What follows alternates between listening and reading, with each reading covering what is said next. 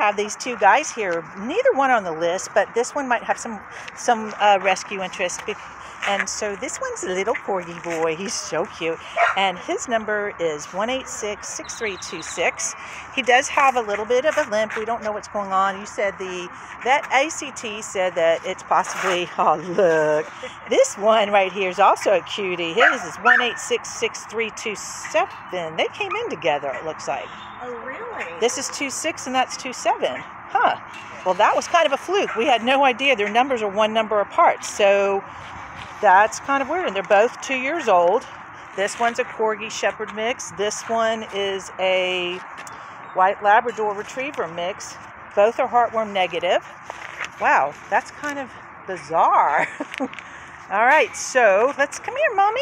You're not feeling too good. I know this leg is really bothering him. So the vet tech said that they think it's road rash, but he's he really doesn't want to put any weight on it. So come here he's this one's interested in Miss Petra over here because she's in heat.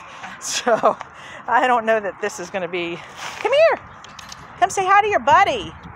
Here, let's let's pull him. Come here. Come say hi to your buddy. Is this? Are y'all buddies? Can you want to come say hi? Aww. Yeah, good boy. They're like don't even care. We've got them in the run together. They they just really don't even care about one another. But their numbers are one number off, so it's really confusing. Yeah, look at oh look. Hi, do y'all know each other? Do y'all know each other? He's like, I think I know him.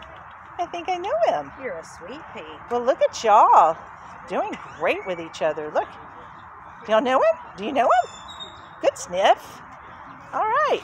So this dog, again, is 186 6326, and that one is 186 6327. Neither one on the list, but they are both in here and one number apart.